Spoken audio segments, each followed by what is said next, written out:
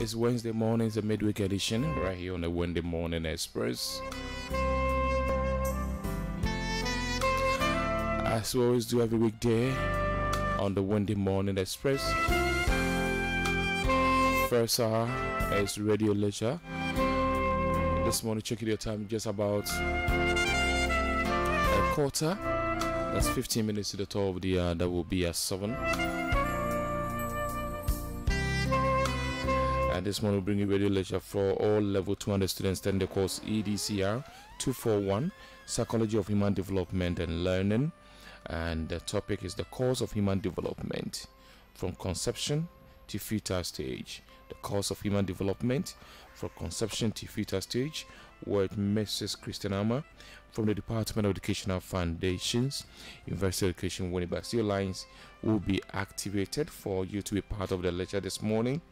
Let me give you the number ahead of time. Eh, it's 0503 923158, 0503 923158, and 0332 320201. Don't forget can also send in a text or WhatsApp to the number 0503 923158. 0503 923158. Don't forget you are live. you're streaming live on Facebook. That's Radio by 98.3 FM and also on the university homepage. That's www.uew.edu.gh.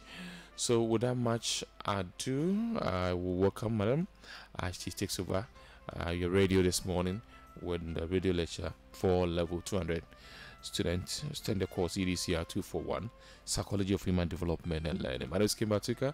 We'll be right back after the radio lecture. Madam Christine, good morning and good, good, to see you. Good morning, good to see you too. I guess level 200 students are ready for this morning's radio lecture. Okay. Yeah.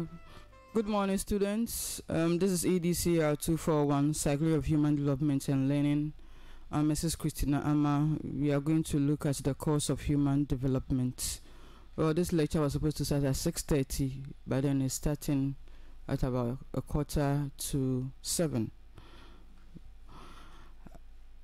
We are going to look at the course of human development, and it begins at conception and continues until birth.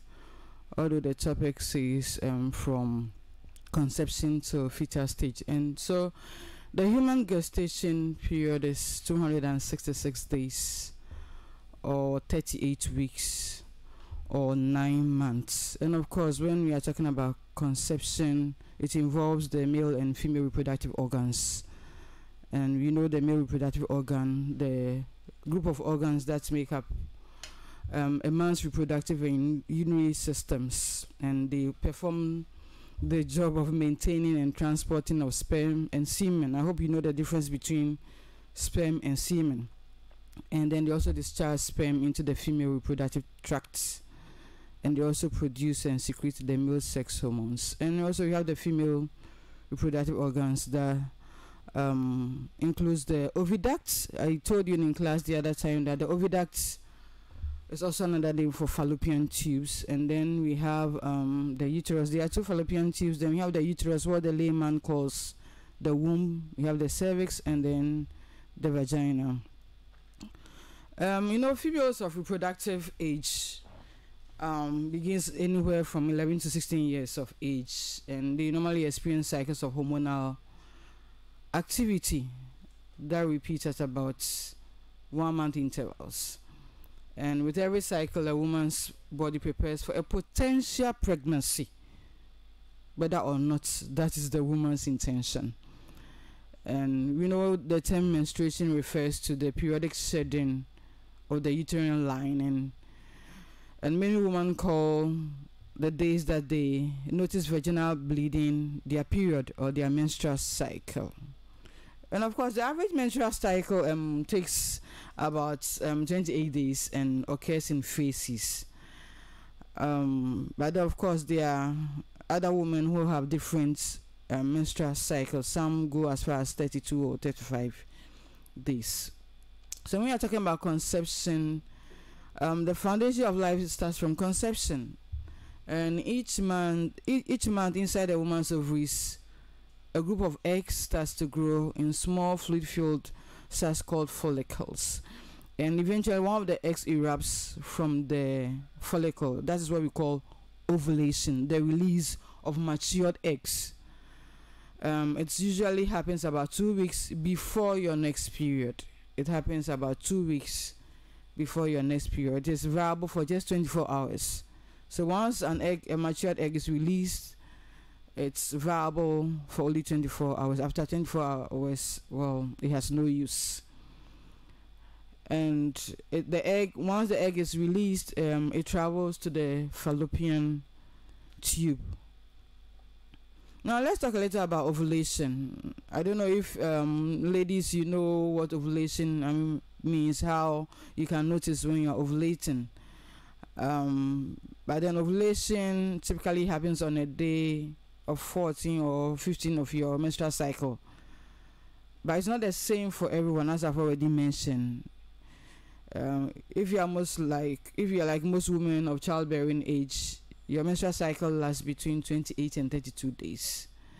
And the ovulation usually hits between days 10 and 19 of that cycle. About 12 to 16 days before your next period. But then in healthy women, ovulation occurs 14 days before the onset of your period, 14 days before the onset of your period. And therefore, if um, your cycle is 35 days, ovulation will happen on day 21 because we are counting 14 days before um, your next cycle.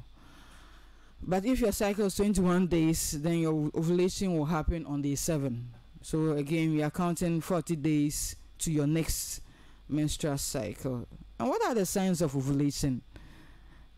I don't know if um, a lot of ladies know. It's funny whenever I bring this question in class, it's rather the, the men who raise up their hand and they tell us instead of the the ladies. So let's look at some signs of ovulation. Um, there's a rise in body temperature. The cervical mucus um, discharge is like the white of an egg. You know, um, if you remove some of the um, mucus, uh, ladies, um, and you stretch it between your thumb and your finger, it's normally sticky and stretchy. That shows that you are ovulating. That means you're in your fertile stage. Another sign of ovulation is heightened sense of smell. Your sense of smell goes very high, very sensitive. Therefore, you're able to smell things around. And then there's soreness or breast soreness or tenderness at the nipples. Sometimes some pain at the nipples because of the rush of hormones. And then there can be mild pelvic or lower abdominal pain. Normally happens depending on which parts of the fallopian tube is releasing the matured ovary or the matured egg. And also your sex drive increases.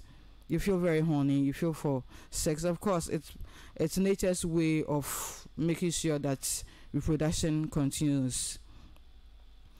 And so after the egg is released, it moves into the fallopian tube. As, as I've already mentioned, it stays there for about 24 hours, waiting for a single sperm to fertilize it. And during um, during sexual intercourse, a healthy adult male can release between 40 million and 1.2 billion sperms into the vagina through just a single ejaculation and the sperm remains alive up to five days. But you know, of this 40 million, between 40 million to 1.2 billion sperms, only one fertilizes the egg. Only one fertilizes the egg. And as I always tell my students, what does it say about you? It means you're a winner, even at birth. You were on a marathon with between 40 and 1.2 billion sperms, and you are the only one who survived. That makes you a winner, and therefore, do not make people's negative evaluation of who you are your reality. You must see yourself the way God sees you because your whole life is a mystery. And therefore, after intercourse, conception occurs when the male cell combines with the egg cell, the mature cell, to form what we call a zygote. However, if no sperm is around to fertilize the egg, it moves through the, uter- um, the uterus and disintegrates. And your body sheds the thick lining of the uterus, and then your period begins. That's menstruation. Therefore, if there's no fertilization for implantation to take place in your um, uterus, then menstruation will take place 14 days afterwards. Oftentimes, when um, we talk about this subject, um, when I talk about the fact that um, it's only one sperm that fertilizes an egg, people ask, and then how are twins formed? Um, there are two types of twins. We have the um, we have the identical twins, and then we have the fraternal twins. Or in biological terms, they talk about the monozygotic twins and then the um, dizygotic twins. And so, identical twins are from one egg. So it's one fertilized egg that's placed into two and develops into two babies. And they have the same genetic information. That is why they look so much alike. Oftentimes you can't even tell them apart. But then for fraternal twins, they come from two different sperms and two different eggs.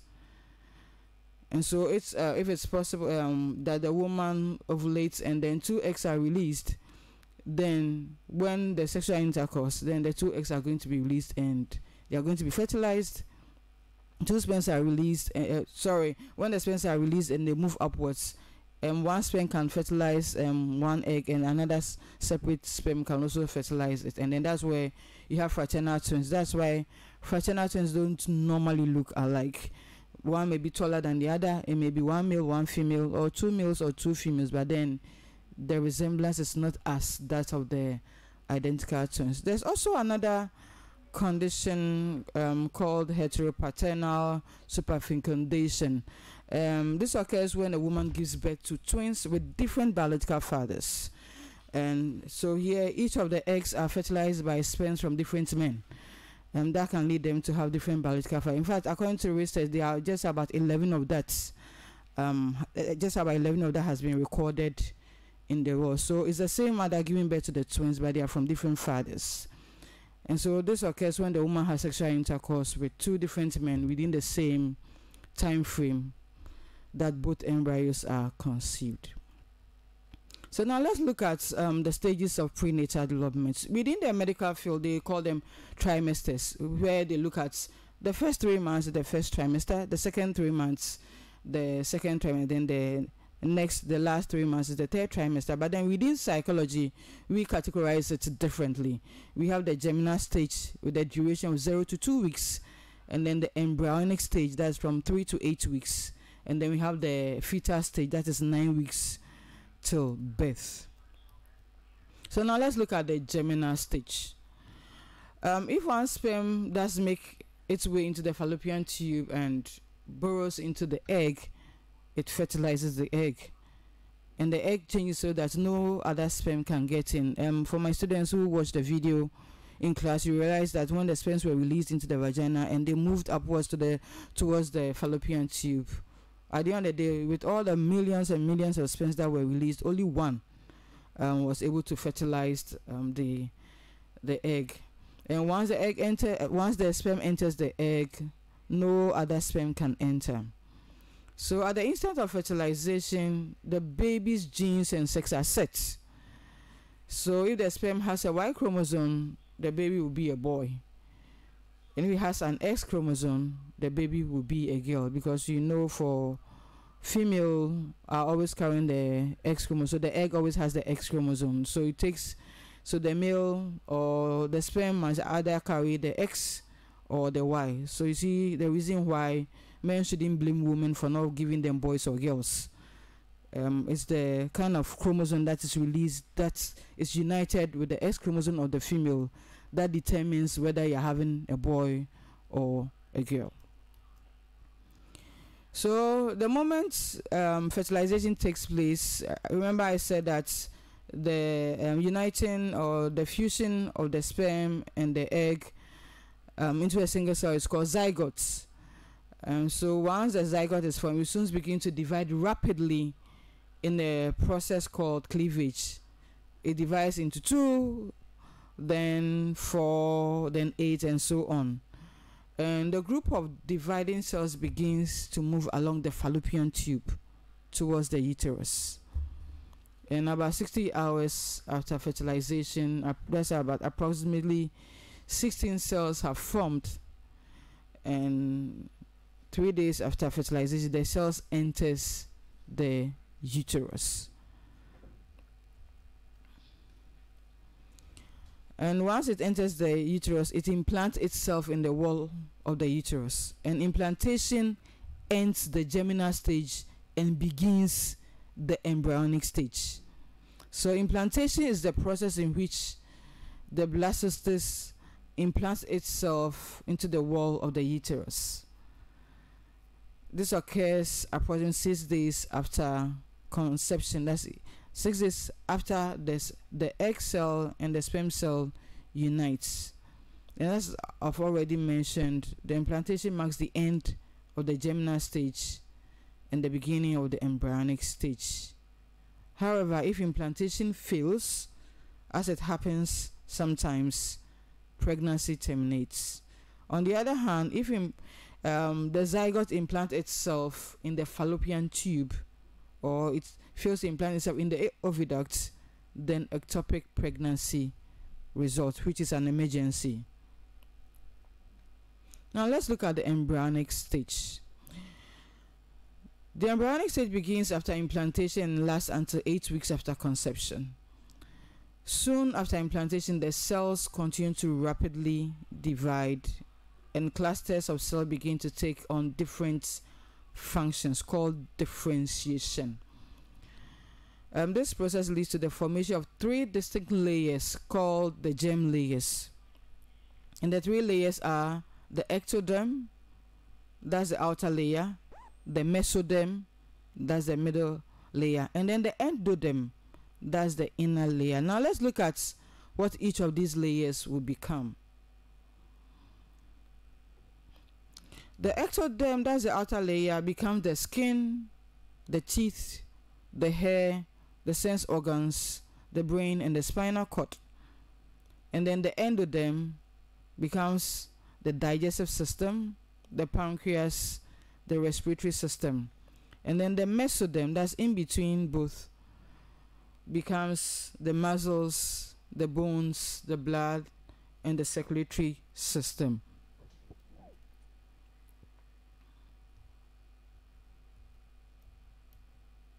Now let's look at the life support systems for the embryo. Here we have the placenta and then the umbilical cord. The placenta is a group of tissues in which small blood vessels from the mother and the offspring intertwine. So the placenta filters in oxygen and nutrients and it filters out waste products. And you know that the placenta is emanating from the uterus, from the wall of the uterus and is intertwined with the umbilical cord. And the umbilical cord is one large vein that delivers nutrients to the fetus or the embryo and two arteries that remove waste products. And also we have the amnion, which is a bag that contains a clear fluid. The fluid is called amniotic fluid. The embryo floats in the amniotic fluid and what's the role of the amniotic fluid? It controls humidity, it controls temperature, and also makes the environment shock proof. It, serves, it serves as a shock absorber for the embryo. Now, what develops during the embryonic period? In fact, literature says um, the embryonic period is when um, we have what we call organogenesis. That's the formation of the organs so in the third week, the neural tube that eventually becomes the spinal cord forms. The eyes begin to appear. The cells for the heart begin to differentiate. And in the fourth week, the first appearance of the genital system, the arm and the leg buds emerge. And between the fifth and the eighth week, the face starts to form.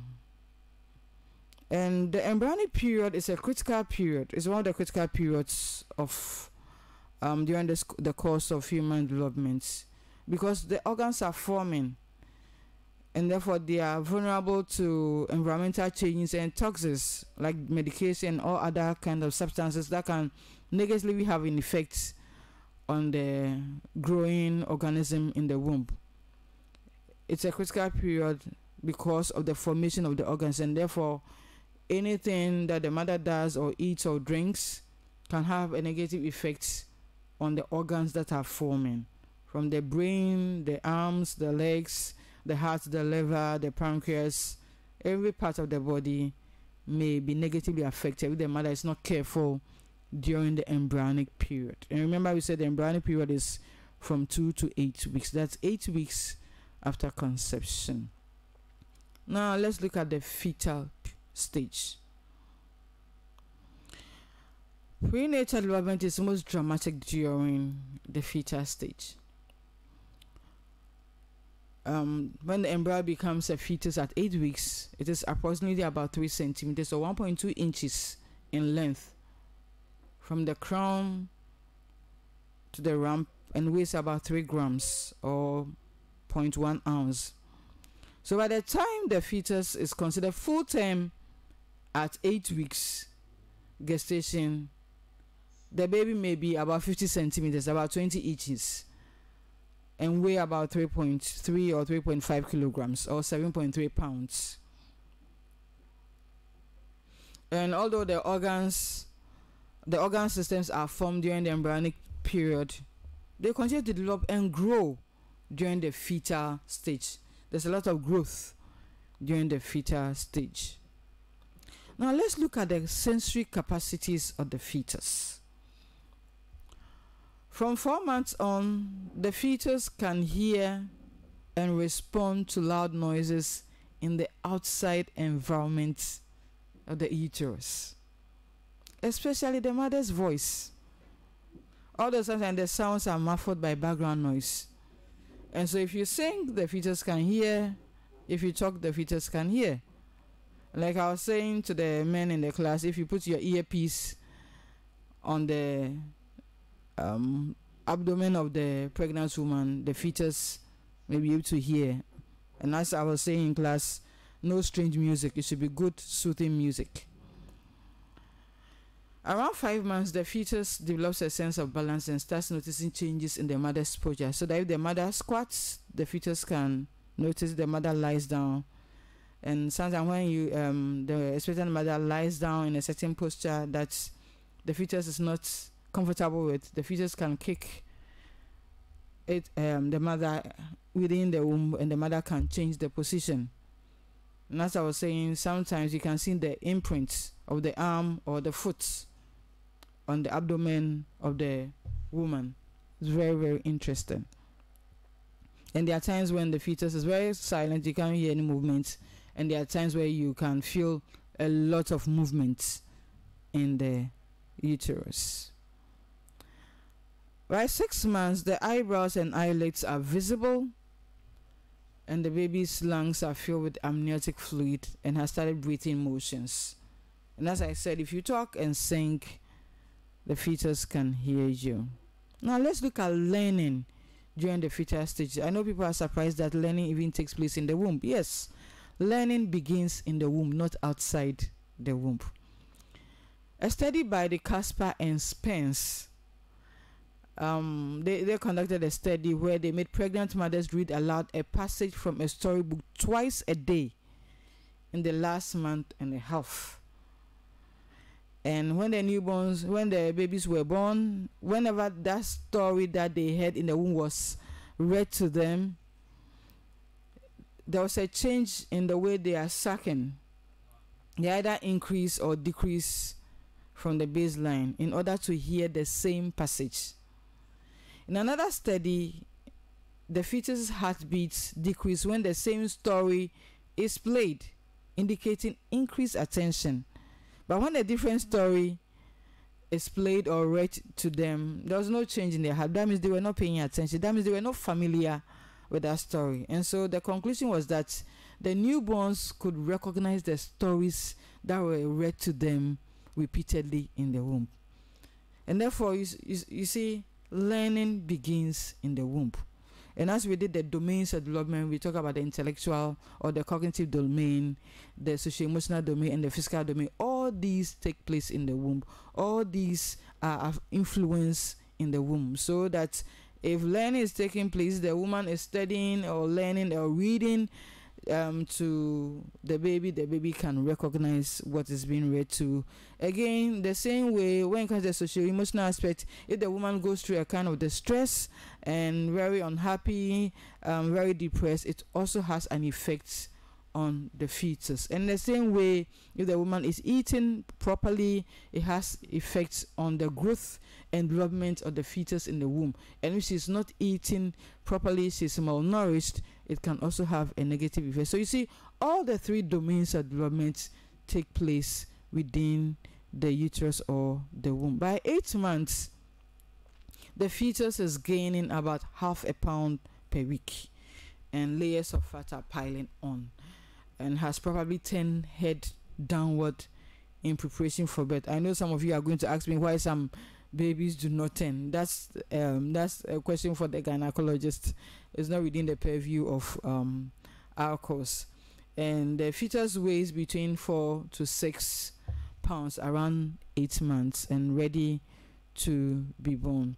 So at nine months, the fetus is a hefty six to nine pounds or 3 to 4.5 kilograms and measures between 19 and 22 centimeters and has become more crowded and you may feel the fetus move around less. So now let's look at the critical periods in prenatal development. And this refers to periods when delicate and also important organs and systems in the body are formed. And remember, I mentioned that the embryonic stage is one of the critical periods. So when um, the uterine wall is not conducive, there will be abnormalities.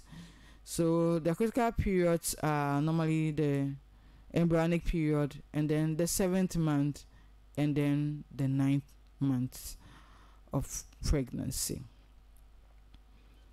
Although this um, topic for today was from conception till the fetal period, I want us to look at um, labor briefly. Um, for those who are in my class, you watch a video on the stages of labor and all that happens. So, labor is a process by which the fetus and the placenta leave the uterus. And delivery can occur in two ways um, it can occur through the vagina or by cesarean section. So let's look at the factors that contribute to cesarean birth. Here we have prolonged labor, abnormal positioning. There are some babies who do not turn um, down headwards towards the vagina, and so during labor and delivery, they will be coming with their buttocks, and therefore, then that can be an emergency and therefore a cesarean session has to be performed. Sometimes the fetus may be in distress or there may be a, a birth defect. And also when a, a, woman has gone through several cesarean sections, eh, the, the medical personnel normally suggests that they do um, they go through a cesarean section for the next birth. And then so when the woman has a chronic health condition like diabetes, gestational diabetes or gestational hypertension or any other chronic health condition.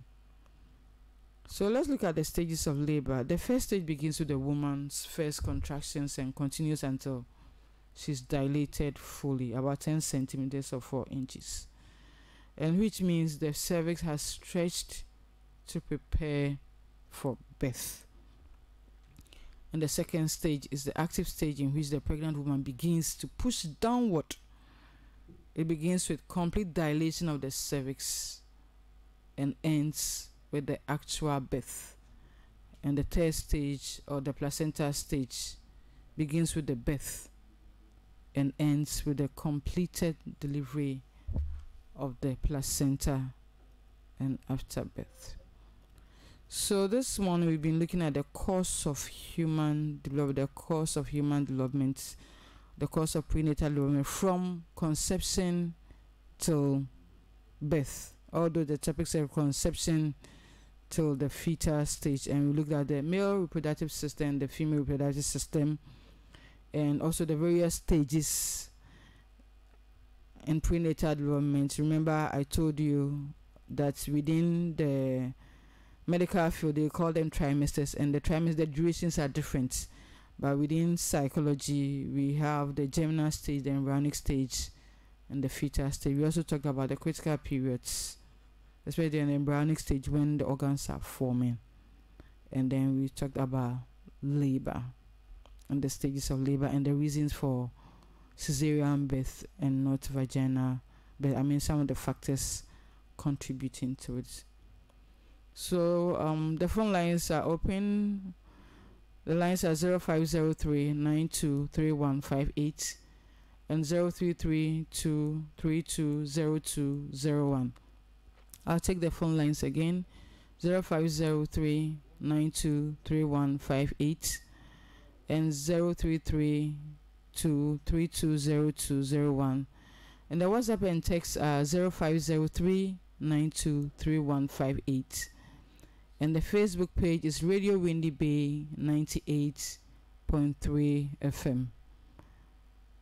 Radio Windy Bay 98.3 FM.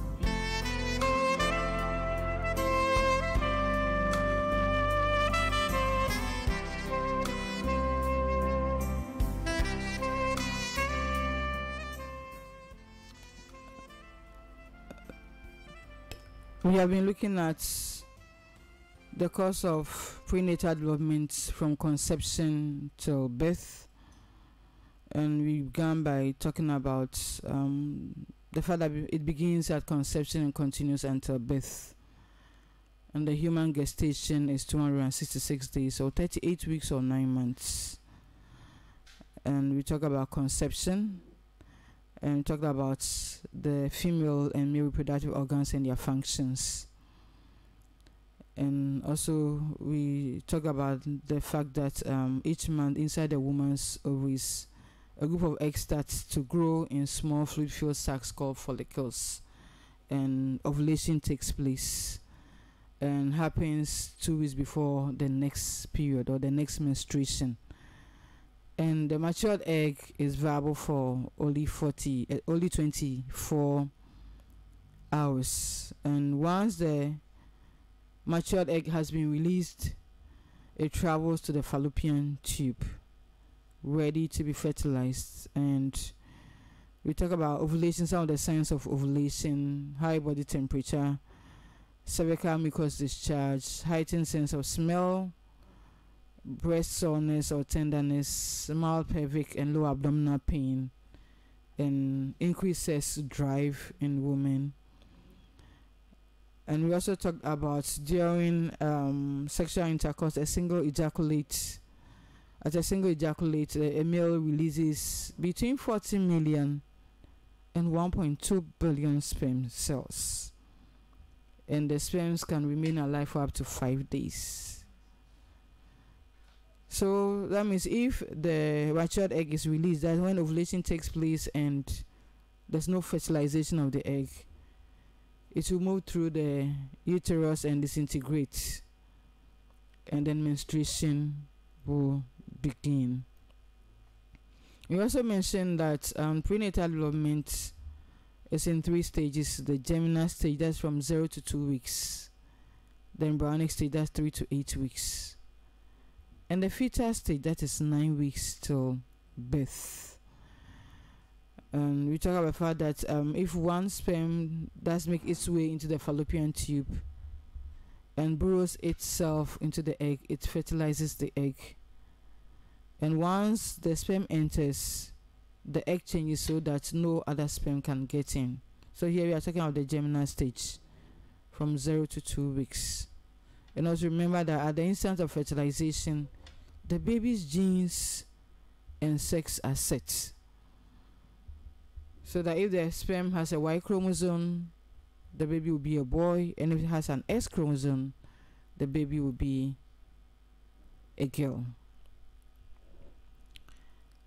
And also said that um, implantation, that's the process in which the blastocyst implants itself in the uterine wall, occurs approximately six days after conception. And implantation marks the end of the germinal stage and the beginning of the embryonic stage. And so, if implantation fails, then the pregnancy terminates because remember, life begins at the germinal stage, not at the embryonic stage. On the other hand, there are periods in which the embryo can implant itself in the fallopian tube or the oviduct. With that, we call that an ectopic pregnancy, and that's an emergency. You also um, talk about the embryonic stage being made of three layers the ectoderm, the mesoderm, and the endoderm. And I said that the ectoderm, that's the outer layer, would develop into the skin, the teeth, the hair, the sense organs, the brain, and the spinal cord. And then the endoderm, that's the inner layer, would develop into the digestive system, the pancreas, and the respiratory system. And then the mesoderm, that's in between both, would develop into the muscles, the bones, the blood, and the circulatory system. I also talked about the life support systems for the embryo, that's the placenta and the umbilical cord, which are involved in the exchange of nutrients, oxygen, and also filters out waste products. I also spoke about the fact that the embryo floats in a fluid, a clear fluid called the amniotic fluid. In the amnion, that's the bag that contains the clear fluid. And the amniotic fluid controls humidity, temperature, and makes the environment shock proof. So the amniotic fluid serves as a shock absorber for the embryo. Remember, I also said that organ formation takes place during the embryonic period, and because of that, it's a critical period during prenatal development because the organs are forming and they are especially vulnerable to environmental changes and toxins like medication and the like. So, from the embryonic stage, we go to the fetal stage and that is when the embryo becomes a fetus at eight weeks. At this sense, about three centimeters or 1.2 inches in length from the crown to the rump and weighs about 3 grams. So by the time the fetus is considered full term at 38 weeks gestation, it's about 50 centimeters or 20 inches or 3.3 kilograms or 7.3 pounds in weight. And although the systems, the organ systems have been formed during the embryonic period, they continue to develop and grow during the fetal stage.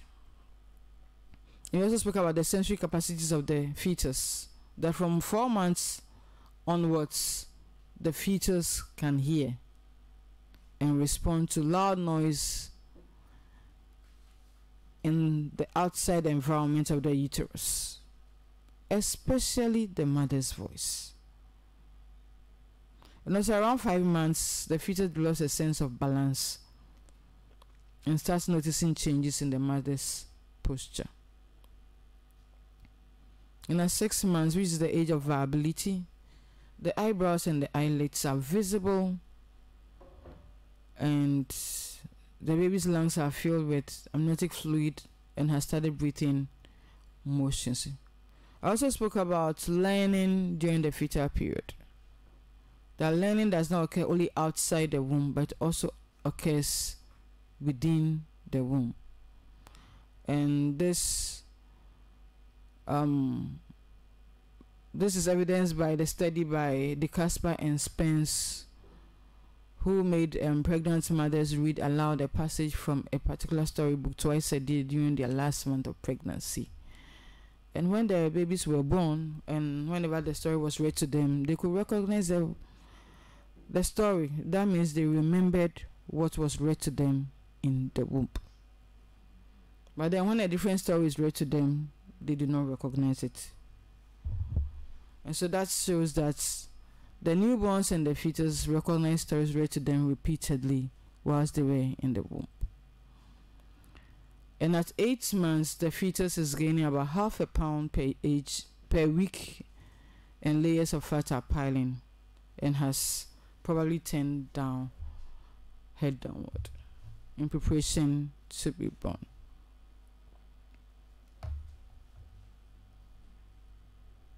Now there's a question um, from Prosper Sedi from Integrated Science Level 200. It said, during the embryonic stage, what are some of the defects the embryo can suffer since most of the vital organs are formed during the stage?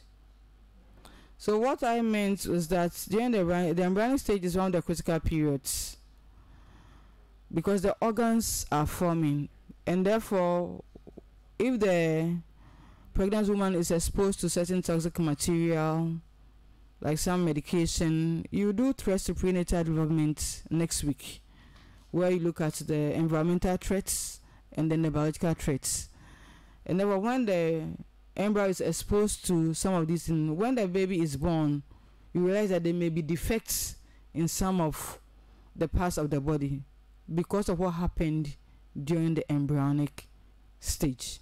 Because the organs are forming the brains the brain the spinal cord the eyes the arms although they are not fully formed at that stage they are coming out as buds that are going to spring out and become fully formed limbs and therefore if they're during that stage um, any particular toxin or what we call teratogens affects the embryo, it can have a negative effect. And the effect would depend on the kind of teratogen. For example, in the 1960s, um, pregnant women who were given a medication called thalidomide to combat morning sickness, when they gave birth, most of the children had problems with their limbs. And therefore, each toxin, a toxin targets particular organs of the body. I mean, alcohol can affect the brain negatively, where the child may have um, attention deficit hyperactive disorder when the child is born. Antibiotics, for instance, can cause hearing loss. Um, genital herpes, for instance, can cause blindness and mental retardation. So each teratogen has its own effects on the parts of the body of the growing organism or the embryo. I hope I've answered your question. So the lines are 0503 923158 and 0332 320201. And the WhatsApp and text lines are 0503 923158. This is Radio Windy Bay 98.3 megahertz. And the Facebook page is Radio Windy Bay 98.3 FM. You can keep your calls coming or the text and WhatsApp. I'm here to answer your questions unless you believe everything I've said is self explanatory and doesn't need further explanations.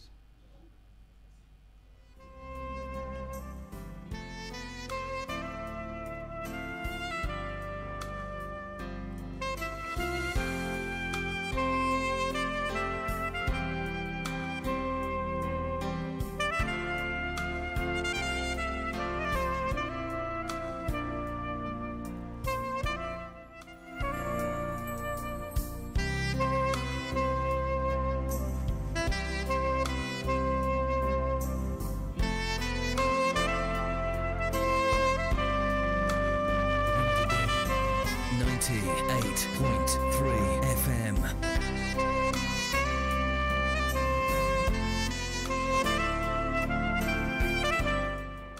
Okay, I have an SMS from Samuel Joe Nyame from Chemistry Education Level 200. Say, well done, madam. Um, God bless you.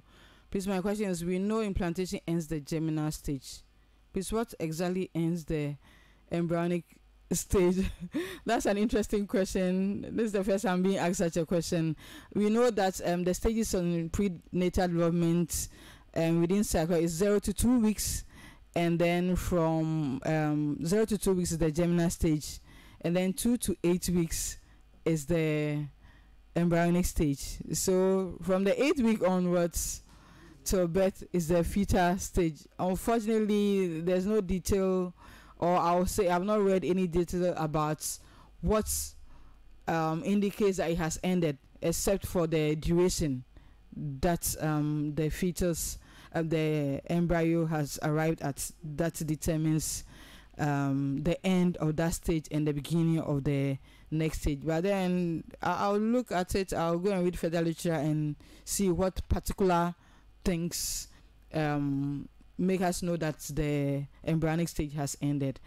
Um, there's another question. Say, good morning, madam. Thank you so much for your time this morning. My question is concerning the weight of the baby at birth. Some babies weigh 1.2. Um, you didn't say 1.2, whether it's kilograms or pounds at birth, whilst the mother eats well and does not look does not lack blood. I want to know what causes that. From Akwe Richard, level 200, Department of Management Sciences. You know, when it comes to the weight of the baby, it's both nature and nature, it's both environmental and genetic. So some babies inherit their parents' weight. Sometimes it may also be um, a disease condition, a health condition that prevents the baby from um, gaining the actual expected um, weight of the baby. Now, of course, sometimes when the baby is preterm, that can also have a a lower weight than a child, uh, a baby who went through the full term. And then your next question is I want to know the cause of prolonged labor. Um, there are so many reasons. Um, there could be a health complication. There could be um, challenges of the baby going through the systems. That's this. Um, I'm afraid is not within the purview of the course. You are supposed to know the, just the basics for so that when you find yourself in the classroom, you find a child with a particular condition, you understand what could have happened. But then it's still worth taking note. I will go and read more about it and get back to you. Okay, the next question. A, the next question is from okay, I think I've answered this already. And then uh, looks like Prosper, you sent the questions several times. Okay. So okay, this is not for this particular um discussion.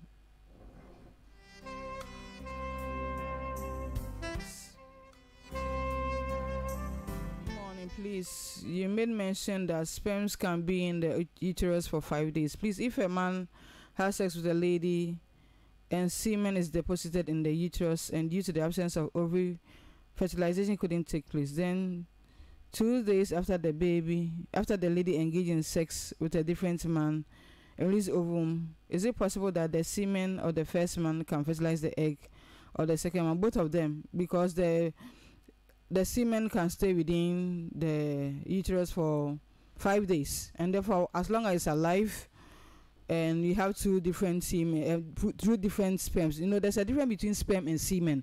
Semen is the fluid, and then semen, uh, um, and then the sperm flows in the semen. That enables it to move up into the vagina through um, the cervix into the uterus and all that. So, what you I think you're asking is more about the sperm and not the semen. But of course, it's the semen that carries the sperm. And so as long as both um, sperms are viable, both sperms are strong, the strongest one will um, fertilize the egg. So yes, it can happen.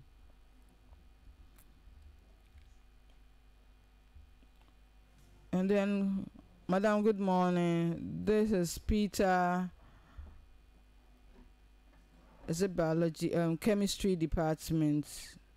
Oh, Peter, you didn't ask any question. You just mentioned your name. okay.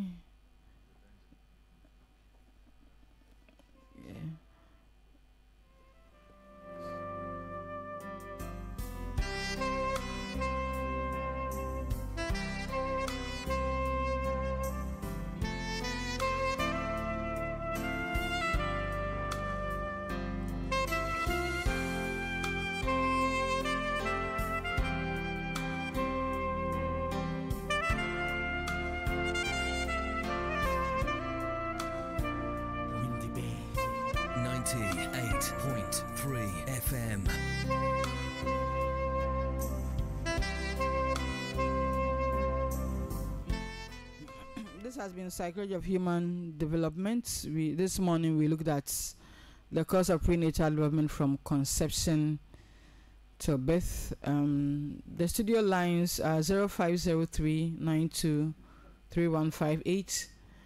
0332320201. The WhatsApp and text lines are 0503 and then the Facebook page is Radio Windy Bay 98.3 FM. So Radio Windy Bay 98.3 megahertz is the station you are listening to. Um, we've been looking at cycle of human development and we are looking at the topic, the course of prenatal development from conception to birth. So if you have any questions, you can call the studio line 0503 923158 and 0332 320201. I'll take it again 0332 320101. The WhatsApp lines are 0503 923158. I'll take the studio lines again 0503 923158 and 0332 320201 and the WhatsApp and text lines are 0503923158. The Facebook page is Radio Windy Bay 98.3 FM and the station is Radio Windy Bay 98.3 megahertz.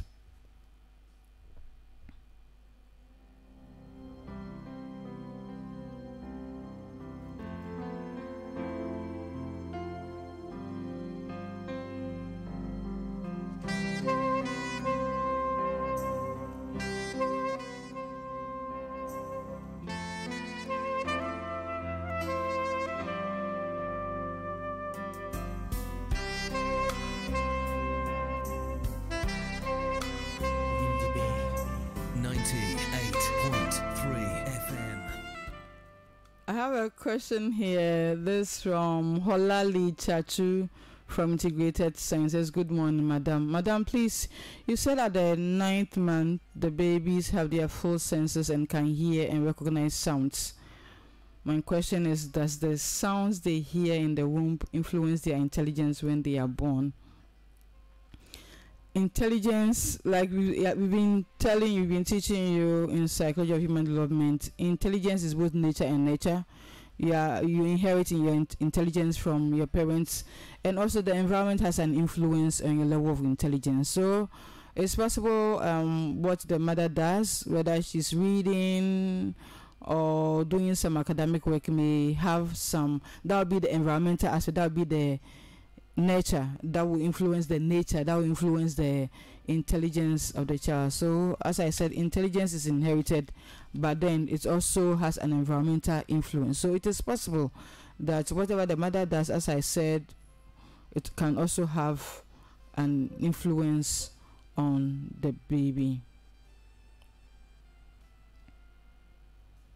So, you can keep your questions coming. Remember the text lines and then the call the st- call studio lines and then the Facebook page 98.3 five zero three nine two three one five eight.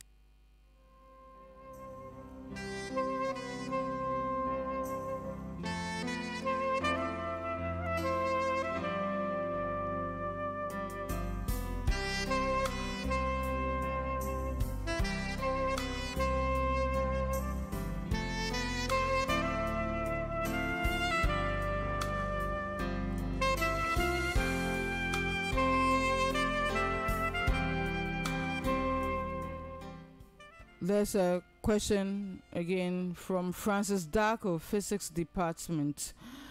Um, he says, I learned that the lifespan of a semen in the woman's womb is two days. And from your presentation, you said five days. Please, what is making the difference? Could it be different from person to person? I don't know whether you're talking about semen or sperm. you know, like I explained earlier, the semen is the fluid that carries the sperm. But then literature says that the sperm can spend five days. The lifespan is five days in the home. So I, I don't know where you got your information that it takes only two days. It can take five. That is why um, during ovulation, um, when a woman is trying for a baby, they tell the woman to start a few days even before, so that if there's sexual intercourse during that time, the sperms can just go ahead and fertilize the egg, or if they are still deposited in the vagina or in the uterus, they can still be there waiting for the um, the matured egg to or the ova to meet it and for it to be fertilized. So it is not two days; it is five days. That's what I, I have read. And then is it um Samuel Jonyami again? Okay, from the chemistry education department, level two hundred. Say good morning. Please, my question is: Some ladies still menstruate even if they are pregnant. Please, that what causes that? Um, some of the um, blood that you see, um, they see uh, what we call spotting or implantation bleeding, where when the embryo um, implant itself in the wall of the uterus, there's some blood. But then I've also heard about menstruation ongoing even throughout the pregnancy. Um, that may be a medical condition of of sort, but I've also heard that. So it may be a medical condition, but then the literature says that um, it may be implantation bleeding, what we call spotting, because of the implantation of the embryo in the wall of the uterus. There's some bleeding, and therefore, the kind of bleeding that they have is not as much as um, women have when they are menstruating. I Hope I've answered your question, Shami.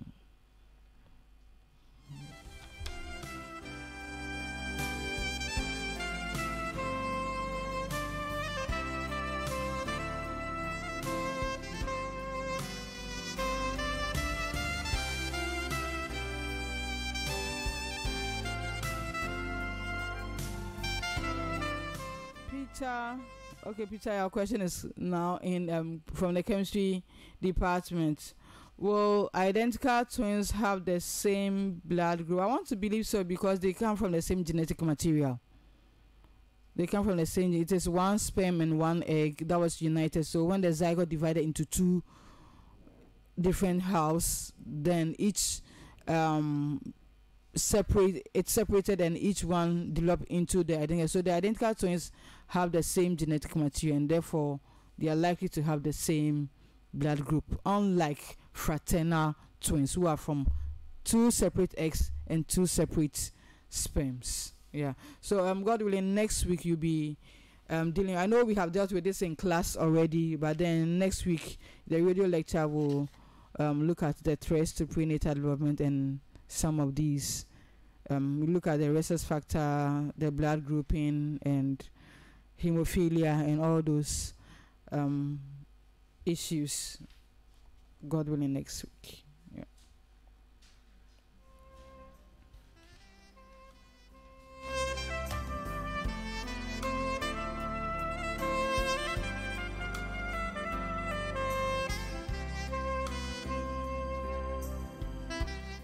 Um, there's a question here. I don't know whether this question is to me or to the radio station.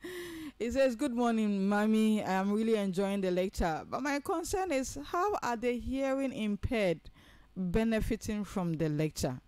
I want to believe that if um, they have um, their assistants near them, just as in the lecture hall, the assistants sign to them if they know the time for this radio lecture um, they'll get the assistants to be by them to sign the lectures that we are giving on the radio to them so that if they have any question um, those who are signing to them can send the message of course they can send the hearing impaired can send the message um, to us for us to read. And so I want to believe that um, in a way they are finding their own way of benefiting from the lecture.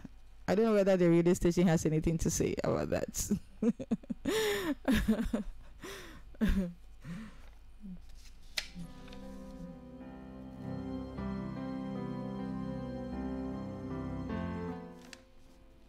if you have any question, you can call the studio lines at 0503 923 and 0332 320201. And then the WhatsApp and text lines are 0503 9231 58.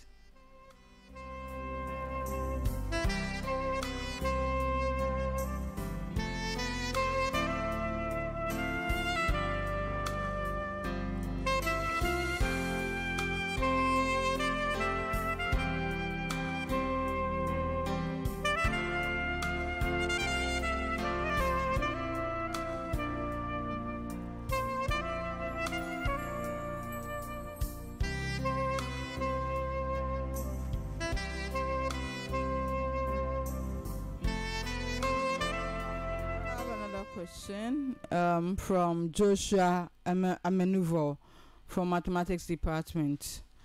Um, his question is How possible will it be for a woman to give birth to twins from two different fathers? Yes, it is possible.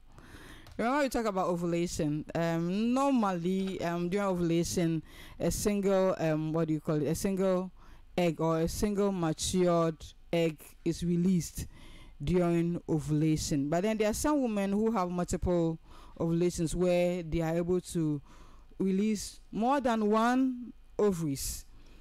And therefore, um, if the woman has sexual intercourse with two different men within the same time frame that she's ovulating, and their sperms fertilize each of the eggs, then they are going. The woman is going to have two children who are twins but have siblings from two different men. And i- it's it happens. And i want to believe that it happens more than is recorded. Although when you read the statistics it that about 11 since 2016 or so or 2011 um, about 11 of such cases have been reported. In fact several several years ago even before um, i went to graduate school someone was telling me about a similar one that happened in Koforidua. I found very difficult to believe. But then she said the woman gave birth to two children the same day. Everything was taken out of her womb, and one of the children was a half caste, and the other was black. And the woman's husband or boyfriend was black, but it looks like he was also he also had should I say a side bow or a boyfriend who was white. And so it's possible both of them had sexual intercourse with her around the time that she was ovulating.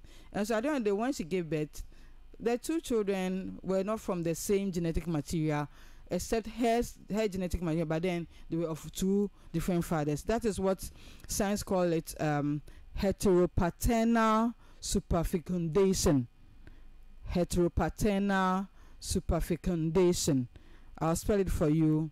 Heteropaternal, I'm sure that you can spell, but superfecundation is spelled S U P E R F E C U N D A T I O N.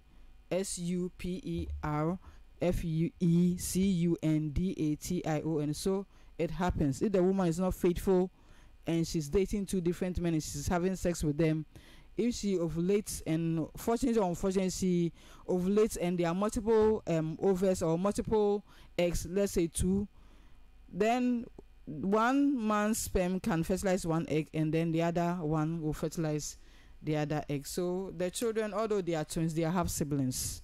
Yeah. So Joshua, it is possible.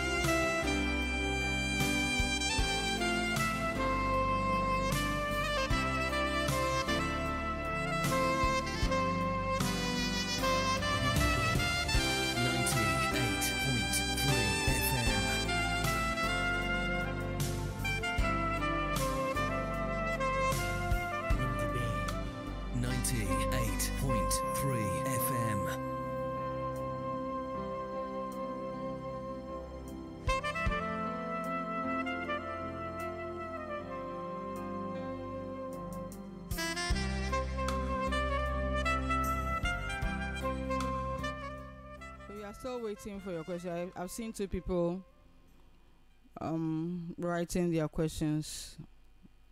You just answer that, and then that will bring us to the end of today's radio lecture on psychology of human development.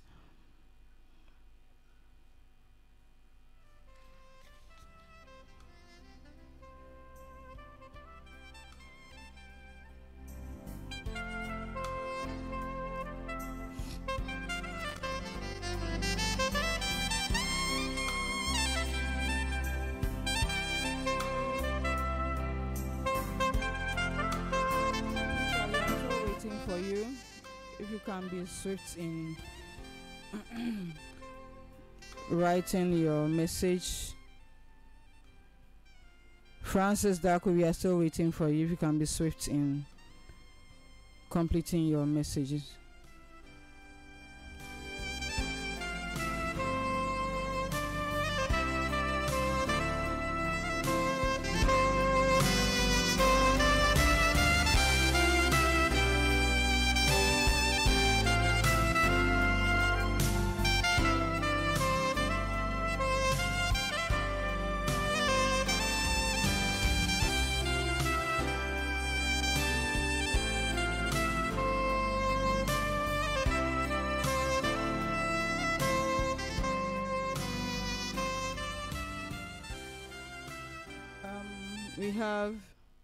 Francis Darko here from the physics department. Um, he's asking, please, about the labor. I learned there is some kind of trauma and organism during the process. How true is that? Um, unfortunately, I have no idea about this, so I can't really give you any answer yet. So maybe perhaps both of us can go and read about it and or ask some medical doctors or gynecologists about it, and they may be able to tell us something about it. Um, I don't have much knowledge on this one.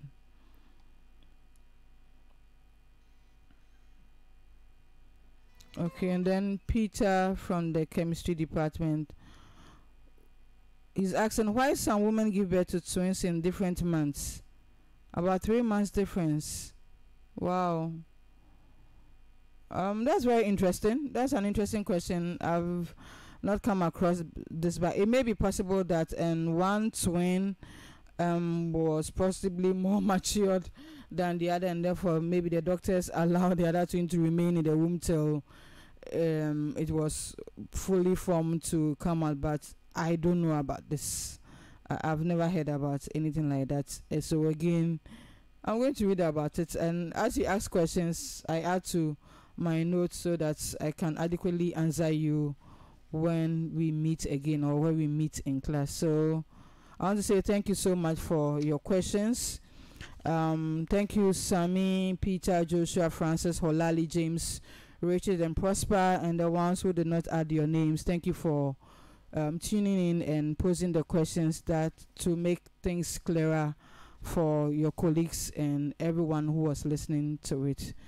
Thank you. And so we've been looking at the course of human development and learning, specifically um, conception to birth, and we looked at the various stages of prenatal development, the germinal stage, the embryonic stage, and then the fetal stage, and everything that happens within. And then lastly, we looked at labor, the stages of labor, and the types of delivery, um, the vaginal delivery, and then the cesarean section, the factors contributing to it. So, thank you so much. Um, next week, um, my colleagues will come here and then we'll continue with threats to prenatal development. So, stay tuned and see you tomorrow at class.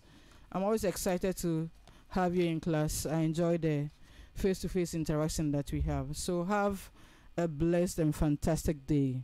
Bye.